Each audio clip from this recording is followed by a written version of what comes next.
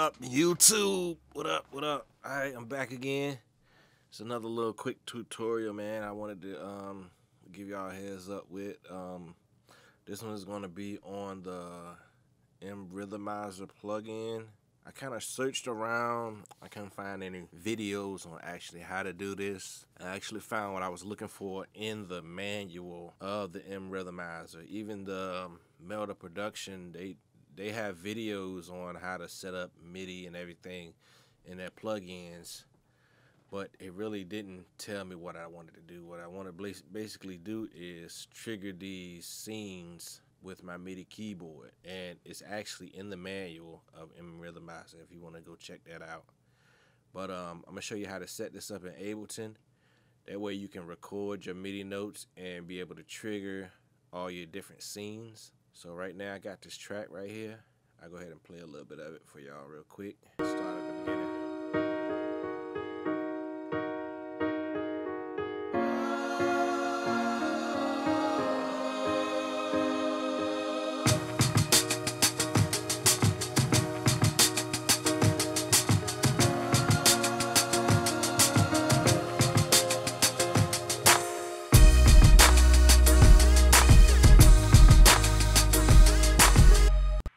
So basically what we want to do, we want to kind of add the effects of the MRhythmizer onto the track. So basically what you want to do is you want to come up here and find where you have the MRhythmizer loaded up. I have it as a favorite up here.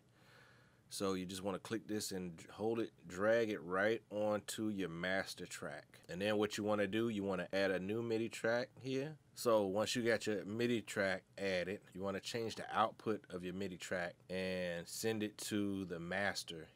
Basically, you're sending the MIDI output to the master. So once you got that set up, now on record this, and basically this will send MIDI to the rhythmizer. And they already have it set up to where these correspond to your keys over here. So your time section, the keys will start at the lowest octave that you can go. So right now I'm um I got my keyboard set three octaves down. So each one takes three octaves, time, volume, and filter. So basically you can switch each different scene just by hitting the keys. Um, another thing that I did right here on advanced, I turned note off. And that would allow the, when you hit a key, it would allow it to just to stay there. And then you could come back and hit C1, hit that one and turn it back off. I can go from here to over to here, anywhere, and just keep switching it. The other version, when you let it go, it goes back to normal every time. So I give y'all a little demonstration on how this works. So I got my MIDI set up. This is routed to the master track where the MRhythmizer plugin is. And you want to record record arm your MIDI track. That way you're sending MIDI. Just play this.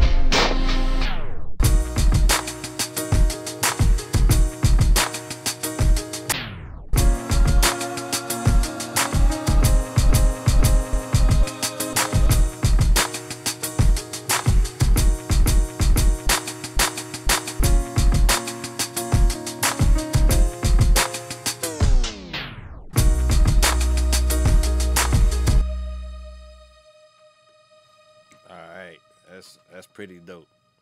So then what you can do, you can just come in and on this track, you can actually record all of that just just like you're playing the keyboard and and end up playing back just as you recorded And if you want it a little bit tighter, you, you know you can go in here and adjust your MIDI notes to be right on point. I already got a little section here recorded.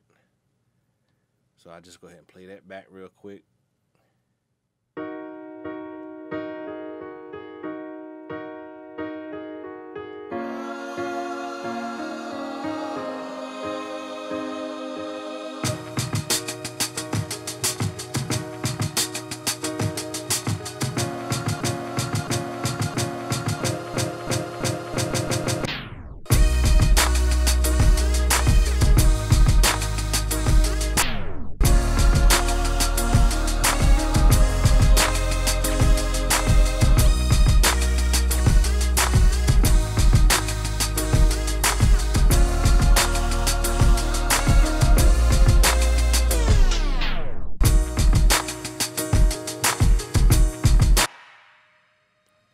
So it's easy as that, man. It's like a little cheat code right now. Just like I said, man, this is dope. So yeah, check it out, MRhythmizer. Um, I have a coupon code for Melda Production.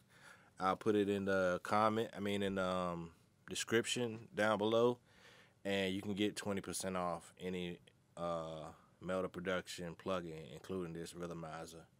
Um, they just had this one on sale for 50% off. I don't know if it's still on sale, but it's definitely worth worth checking out. Um, man, so y'all, I mean, y'all see the potential that's going on with this plugin and actually being able to record your scene switches, and it's it's pretty amazing. So y'all check that out, man. Just want to give y'all a quick heads up on that. Thanks for watching follow, subscribe, man. I try to get more videos out. Thanks. Peace.